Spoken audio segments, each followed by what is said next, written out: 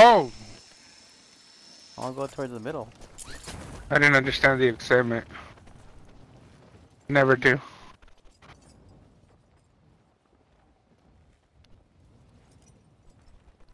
Hmm. And now I'm trying to see which one should be better. The top of the... Ah, I want the top of the stadium.